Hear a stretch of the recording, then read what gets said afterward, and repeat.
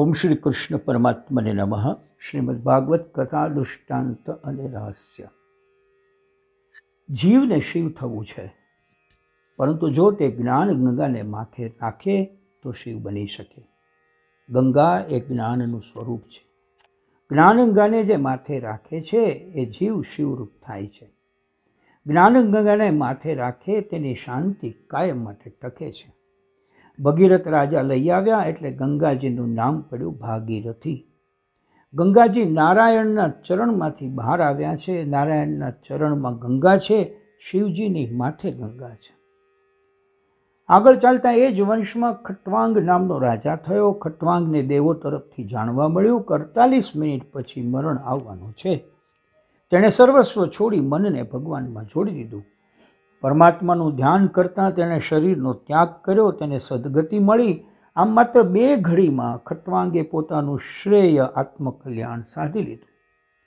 ખટવાંગ પછી થયા દીર્ઘબાહુ અને દીર્ઘબાહુને ત્યાં થયા રઘુ. રઘુ મહાજ્ઞાની અને અતિ ઉદાર હતા. તેમના જેવો દાન આપનારો થયો નથી અને થનાર નથી. રઘુ રાજાએ કેવળ પહેરેલું વસ્ત્ર રાખી સર્વસ્વનું દાન કર્યું હતું. રઘુરાજાએ અનેક યજ્ઞો કર્યા હતા. તેમની કીર્તિ વધી ગઈ, તેથી તે સૂર્યવંશનું નામ રઘુવંશ પડ્યું. ભગવાનનો વંશ સાંભળે તેના વંશનો નાશ થતો નથી. રઘુને ત્યાં થયા અજ અને અજને ત્યાં થયા દશરથ. દશરથ રાજા અયોધ્યામાં રાજ કરતા હતા. પૂર્વજન્મમાં તેઓ બ્રાહ્મણ હતા. ગામ બહાર રણછોડરાયનું મંદિર બ્રાહ્મણનો નિયમ રોજ એક હજાર તુલસી દસ તેઓ ભગવાનને અર્પણ કરતા. વૃદ્ધ થયા છે, પંચ્યાસી વર્ષની ઉંમર થઈ છે, એક વખત તાવ આવ્યો. બ્રાહ્મણ તાવને કહે કે, હું મારા ઠાકોરજીની સેવા કરી આવું, પછી તું આવજે.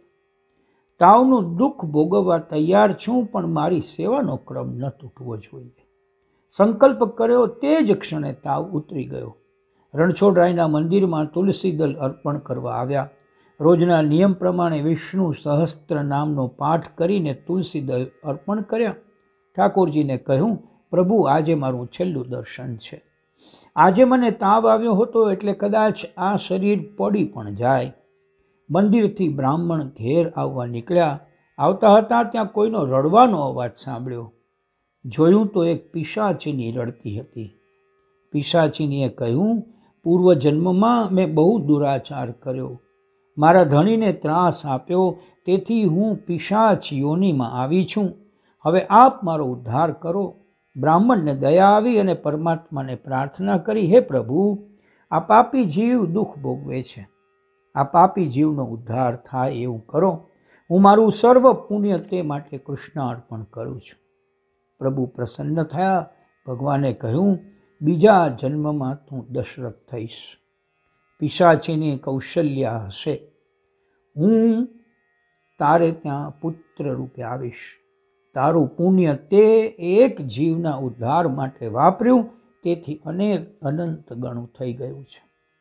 બ્રાહ્મણે ત્યાં જ શરીરનો ત્યાગ કર્યો અને તે બીજા જન્મમાં દશરથ થયા છે.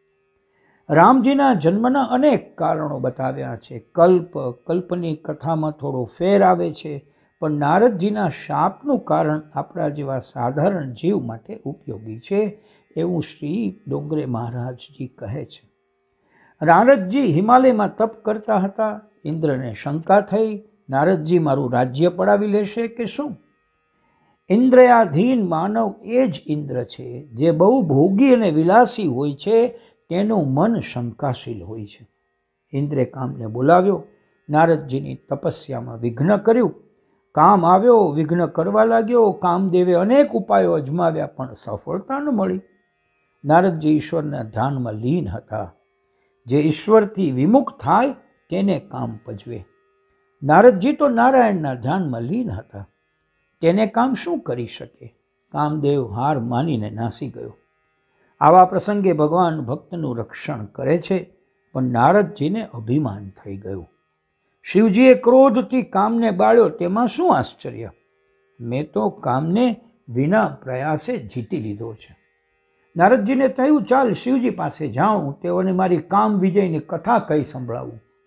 નારદજી કૈલાસમાં આવ્યા, શિવજીએ નારદજીનું સ્વાગત કર્યું. પધારો પધારો. નારદજી ભક્ત છે. નારદજી ઉપર શિવજીને પ્રેમ છે. શિવજી નારદજીને ખૂબ માન આપે છે. માનવીને બહુ માન મળે છે. ત્યારે એનામાં અભિમાન આવી જાય છે. જ્ઞાનીઓને કોણ મારે છે તો કે અભિમાન મારે છે. શિવજીને થયું કે નારદજી પાસેથી રામકથા સાંભળવા મળશે. પણ નારદજીએ તો પોતાની કથા કહેવાની શરૂઆત કરી અને કામ વિજયની કથા કરી દીધી. શિવજીને થયું કે આ નારદજીને અભિમાન થયું છે. તેમણે નારદજીને કહ્યું, આ વાત તમે મને ભલે કહી, પણ તે ભગવાન નારાયણને કહેશો નહીં. નારદજી ત્યાંથી રવાના થયા. નારદને થયું, શિવજીને મારી અદેખાઈ થઈ ગઈ લાગે છે. પોતાનો મહિમા ઓછો થાય એટલે આ વાત કરવાની બીજાને ના પાડે છે. નારદજી આવ્યા વૈકુંઠ લોકમાં નારાયણ પાસે. રોજ તો આવીને સાષ્ટાંગ પ્રણામ કરતા. પણ આજે તો અભિમાનમાં છે. કામને મેં જીત્યો છે. પ્રણામ પણ ન કર્યા. નારાયણે પૂછ્યું, બોલો નારદજી, શું સમાચાર છે?